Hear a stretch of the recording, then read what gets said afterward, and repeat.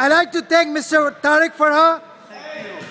Thank you. Tariq Farah, this whole gym is organized and managed by Tariq Farah, and he did serve this uh, food for us, for MCA, for this community. You served the. No, Tariq Farah.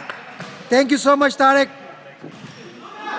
All right, let's go. Thank you, Imran. Thank you, Dr. Jaffer. Yeah.